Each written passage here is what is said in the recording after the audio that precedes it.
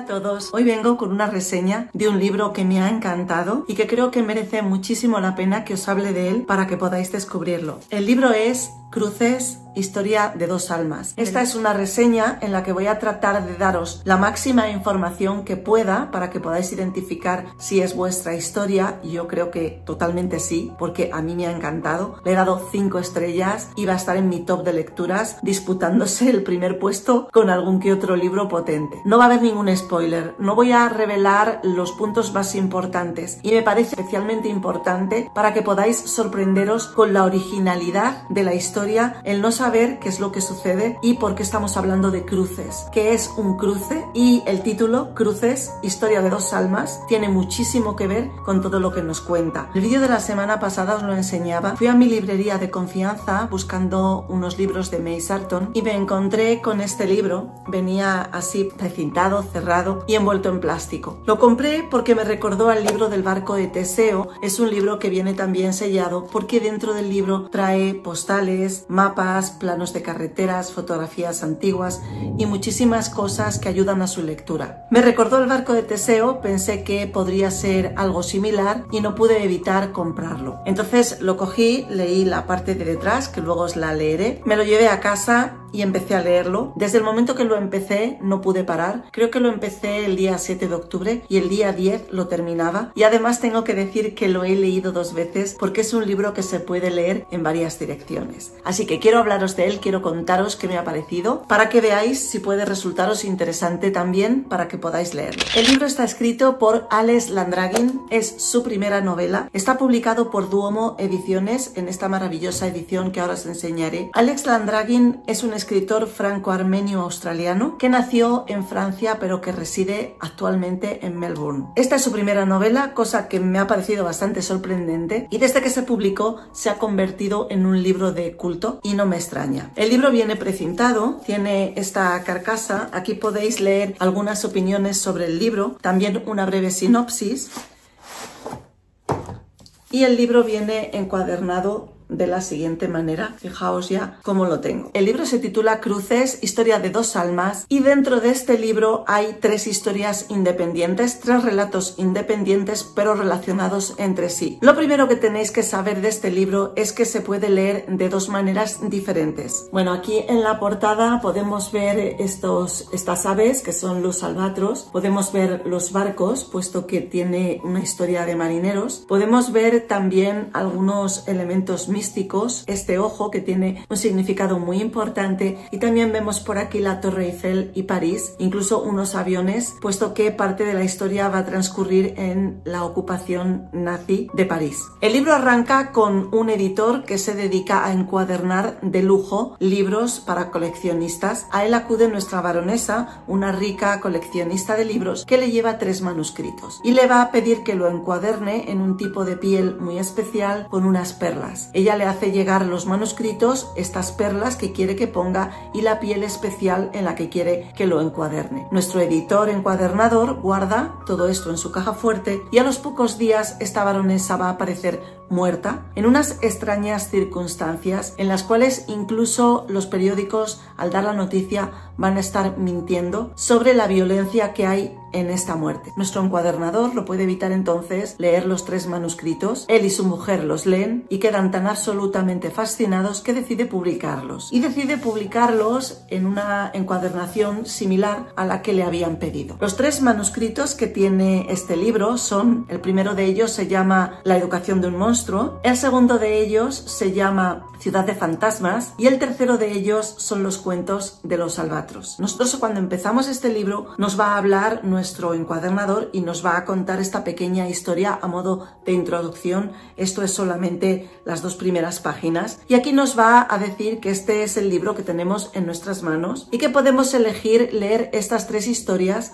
como tres relatos independientes que se leen de principio a fin y que están ligeramente relacionados o podemos elegir leer la secuencia secreta de la baronesa en la cual vamos a ir saltando de página en página y vamos a adentrarnos en un relato absolutamente atrapante y absorbente en el que van a pasar muchísimas cosas y con el que vamos a ir construyendo la historia. Yo cuando lo leí elegí por supuesto La secuencia secreta de la baronesa. Me pareció muy interesante, muy divertido. Me recordó a Rayuela, que es una novela que todavía no he leído de Cortázar y que también creo que se puede leer saltando de unas páginas a otras o leerla luego toda ella del tirón. Yo esta novela la he leído primero saltando y el día que la terminé, ese mismo día volví a empezar, pero leyendo cada cuento por separado. Yo necesitaba saber si había leído todo el libro, si había alguna cosa secreta que yo no hubiera leído y además es una historia bastante enrevesada y liosa. Es muy adictivo, es muy atrapante por todo lo que pasa aquí, pero sí que te va a requerir de una atención. Voy a dar al final una serie de consejos para poder disfrutar de este libro porque es un libro muy especial. Dicen del autor que ha hecho un ejercicio de narración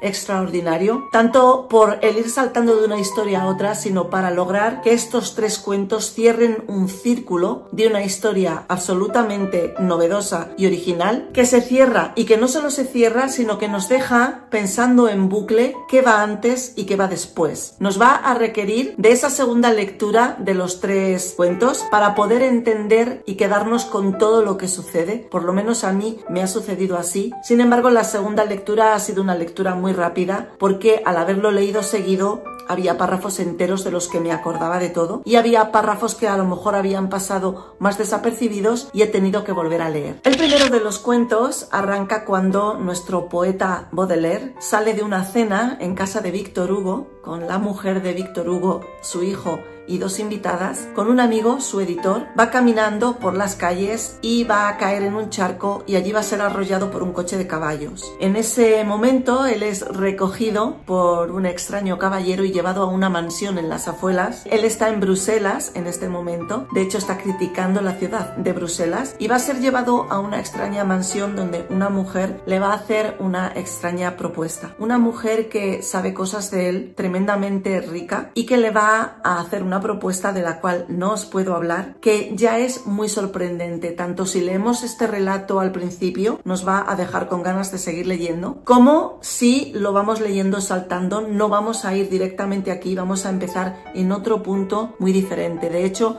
si decidís leer la secuencia de la baronesa, vais a empezar casi al final de la historia, vamos luego a recorrer toda la historia para llegar luego al mismo final. Entonces es una historia, es una historia circular que la leas en la dirección que la leas, creo que vas a disfrutarla muchísimo. Creo que la podemos disfrutar más si os atrevéis, si sois capaces de estar muy atentos a leerlo en la secuencia de la baronesa primero, porque es lanzarse una historia donde vamos a tener muchísimos personajes, donde todos estos personajes vamos a estar dentro de ellos entendiendo sus inquietudes y todo lo que hacen. Todo ello con una gran coherencia. Pasan cosas muy mágicas y muy increíbles porque esta historia es totalmente de fantasía, pero es una fantasía que nos habla del mundo de los sueños, de la realidad, de los recuerdos, qué son los recuerdos, qué son los sueños, incluso nos va a hablar de vidas pasadas y el tema central de todo ello, y os lo voy a decir sin hacer ningún tipo de spoiler, es la transmigración de las almas. Y de aquí que los ojos tengan un componente muy importante. No voy a revelar los puntos más importantes ¿eh? para que podáis sorprenderos con la originalidad de la historia, el no saber qué es lo que sucede y por qué estamos hablando de cruces, que es un cruce y el título, Cruces, Historia de dos almas, tiene muchísimo que ver con todo lo que nos cuenta, con cómo está escrito y por qué es un ejercicio narrativo tan absolutamente magistral. Yo creo que para escribir esta trama hay que tener un gran dominio de la construcción de historias, de los saltos temporales y las elipses temporales, de la dosificación de la información en el momento adecuado. El libro está maravillosamente escrito, no hay una frase de más, una descripción de más, ni una descripción de menos tiene la parte poética que tiene que tener, tiene aventuras, tiene amor, tiene romance, tiene... es que tiene tantas cosas y deja reflexiones importantes sobre quiénes somos, qué es el bien, qué es el mal y la vida más allá de la vida. La historia de Baudelaire está muy bien metida, se ve que se ha documentado y que conoce bastante toda la historia de Baudelaire porque resulta totalmente creíble. Entonces, es que, es que son tantas cosas y es una novela tan circular que me cuesta mucho poder daros eh, la estructura de lo que trata la novela. He hablado del primer cuento que habla de Baudelaire y de esta propuesta. En el segundo cuento, que es Ciudad de Fantasmas, vamos a tener una parte de la novela que transcurre en el París de la ocupación nazi y vamos a seguir a un judío que está tratando de huir de los nazis y de salir de Francia. Ahí va a conocer en la tumba del poeta Baudelaire a una extraña mujer con la que va a iniciar un romance y que le va a llevar a muchísimo tiempo atrás. Esta historia es una historia muy atrapante y muy adictiva, también muy interesante, que nos lleva a otro escenario totalmente distinto que la primera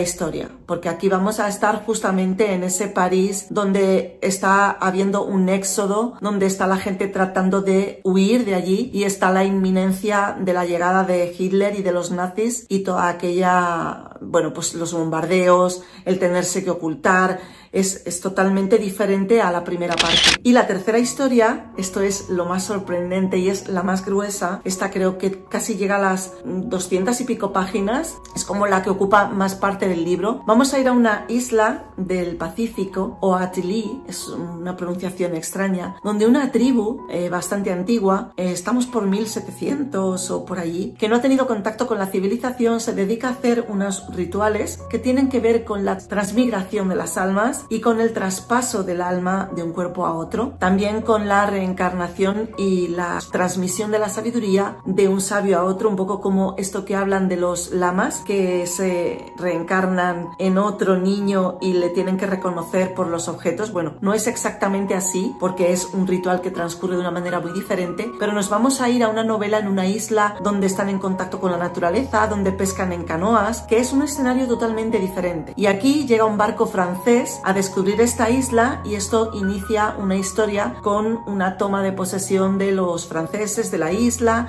y unos cambios. Aquí en esta última historia hay muchísima magia y vamos a tener a dos protagonistas que están en toda la historia y que em, están también en los otros dos relatos y son dos almas, una mujer y un hombre que se aman. Una es la que tiene la capacidad de recordar todo a través de años y el otro es el que olvida. Es maravilloso, es maravilloso. Tanto leídas las tres historias como leído en la secuencia de la baronesa. Yo os recomiendo leerlo en la secuencia de la baronesa porque vais a estar leyendo cuatro novelas a la vez. Vais a estar leyendo una novela que trata de esta isla con esta ambientación de esta tribu, con sus rituales y todo lo que ocurre. A la vez vais a estar leyendo lo que ocurre con el poeta Baudelaire en ese París decadente y a la vez vais a estar leyendo esta ocupación de los nazis eh, y toda esta historia de tratar de escapar en el éxodo y todas ellas a la vez saltando de una a otra en diferentes personajes. Todos los protagonistas me han resultado interesantes, he empatizado con todos y creo que os podéis atrever perfectamente. Estamos leyendo estas tres historias, pero a la vez se nos está planteando una historia que enmarca todas y que tiene que ver con la vida, con la muerte, con la transmigración de las almas y con la vida después de la vida, que lo engloba todo. Hasta ahí puedo decir, no puedo desvelar más, solo deciros que es muy atrapante, os va a gustar, a mí me ha encantado. Yo estaba leyendo cada historia y no podía parar, me daba cuenta de que llevaba leídas 100 páginas de manera adictiva porque se me caían ya los ojos y si hubiera podido la hubiera terminado en un día. El estilo narrativo del autor a mí me ha parecido perfecto porque no tiene un exceso de descripciones, pero sí tiene las descripciones justas y la ambientación para meterte en cada uno de los escenarios. Sabe crear personajes diferentes. Tiene muchísimos personajes porque son siete vidas distintas y por el hecho que ocurre vamos a ir saltando de un personaje a otro y todos ellos están muy bien diferenciados y a todos ellos vamos a entender muchísimo cómo piensan, cómo sienten y qué es lo que les pasa. Y sobre todo lo que me ha parecido alucinante a la hora de narrar de nuestro autor es que estamos siguiendo a un personaje y en un momento de la historia se encuentra con otro y le empieza a contar una historia, lo cual nos lleva a otro escenario distinto, nos saca de esa narrativa y dentro de esa historia aparece otro narrador que nos cuenta otra parte de la historia. Y es magistral la manera en la que tenemos un narrador dentro de otro narrador y dentro de otro narrador y cómo luego cuando te vuelve a sacar a la historia principal en la que estabas, te quedas como en shock y dices, ah, claro, si es que estábamos aquí contándole esto a esta persona y nos hemos ido a toda la historia. Entonces, me parece, es que no había leído nunca un libro así. Así que por favor, hacedme caso a esta reseña leedlo y si lo vais a leer, decídmelo por favor en los comentarios. Si habéis leído algún libro así, em, también decídmelo. Si os ha llamado la atención y si lo habéis leído, por favor comentadme qué pensáis, si os ha fascinado tanto como a mí. Y nosotros nos vemos en el próximo vídeo. Hasta entonces.